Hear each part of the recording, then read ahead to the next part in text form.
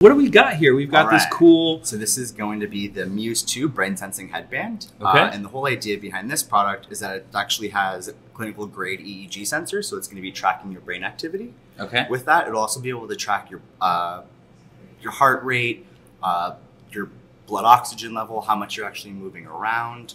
Um, so the whole idea behind this is supposed to give you really tangible things to look at when you're for something like meditation. Right. Um, and it also helps guide you in that meditation. So if you want to, kind Sure. of, mind if I throw this Yeah, on? you? please. All right. So it'd sit just like this, Okay. right on your forehead. There we go.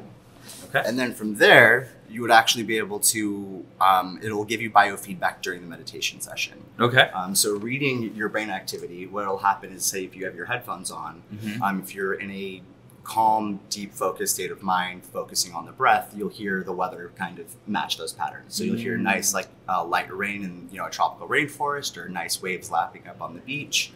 Versus if you start to get distracted, the music can actually pick up on that. Oh, so it's giving you audio cues through headphones and telling you, "Hey, calm down. I'm going to play you rain." Right. Okay. So the idea is that if you start Smart. getting distracted, you'll actually hear the wind, the weather shift.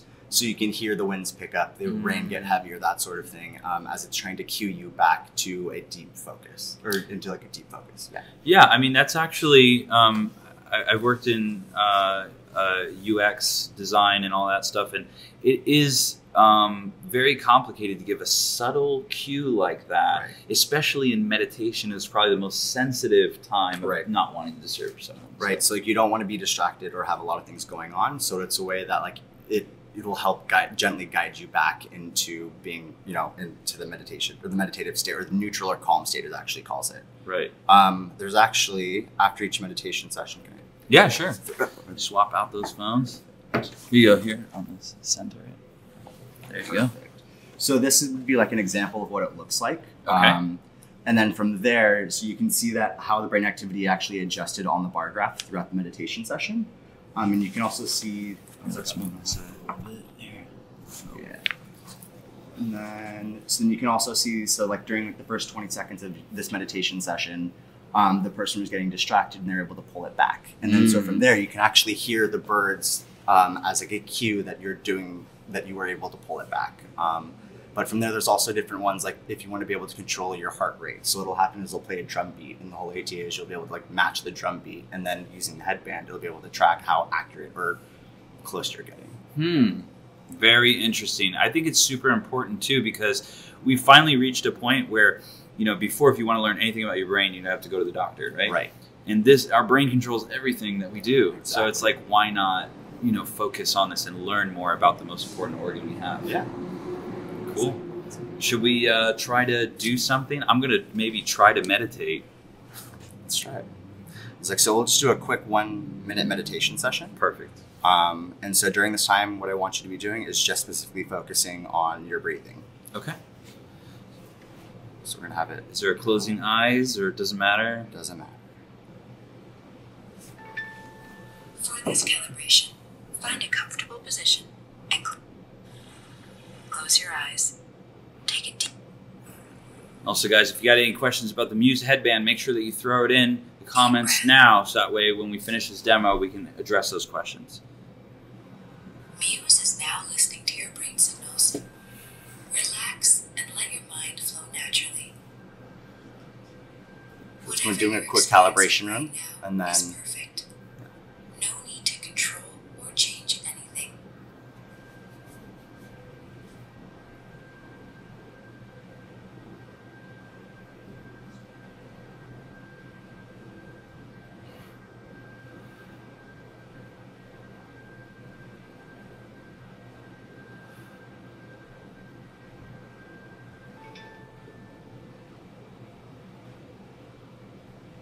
Ready? Place your attention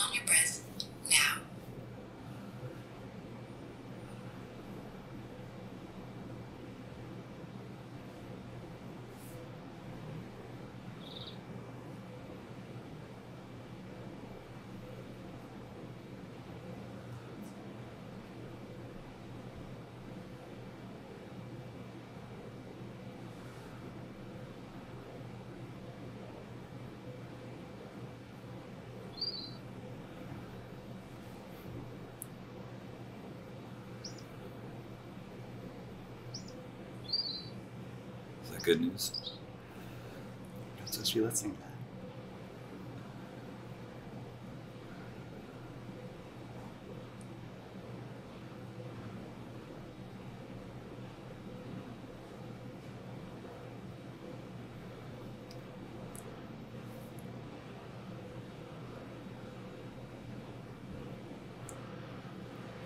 Awesome.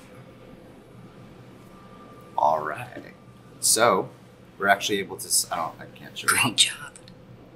So you're actually able to see in the beginning, like you were able to get in that deep focus, and then when you heard the first bird, Yeah. you know, it's actually able to track when you were able, like when you were getting those birds. And then when I asked you, like, to not think about it, like we're not supposed to be thinking about the birds, we were actually able to pull it slightly back. Yeah. Um, And the recovery. so the recovery is going to be when you completely lose a out of a. Um, Yeah, So- let's take a look at this here. all right, I was like, so the recovery is going to be completely. So this is your Bart. Oops. There we go. This is going to be your results. Oops, sorry. And so from there, it's actually going to be quantifying the whole thing. Um, so Alright. you'll get different points based off how well you did, and you get more points if you're in the deeper focus. Um, so you're also able to get rewards, which mean so birds, which was in, you were able to pull it back.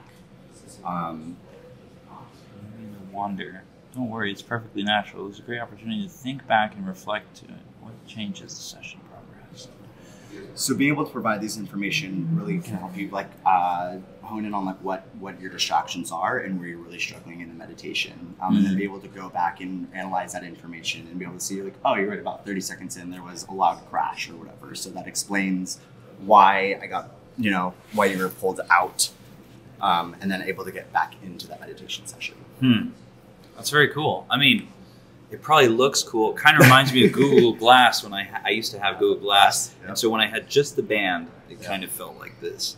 But um, yeah, this is very cool. And what what is the pricing on this uh, so the? Muse 2 headband uh, is 249. Two forty nine. Okay, cool. Not a bad price to learn about yourself. Um, and uh, yeah, I think it's uh, I think it's really cool. I so I have trouble meditating. I'm probably the last person to to be able to pull this off.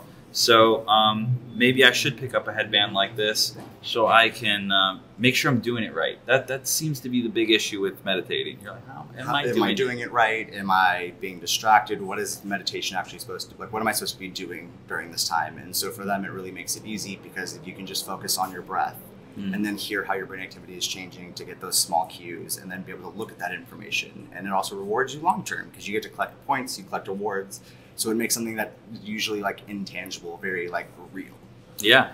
And this is just the beginning of these brain machine interfaces. Um, you know, there's the Emotiv, which has an SDK, and you can program it to switch on lights on and off or, you know, control VR and these kind of things. There's Elon Musk working on Neuralink, which is going to be a brain machine interface in which we can jack into the internet and learn things from artificial intelligence in real time.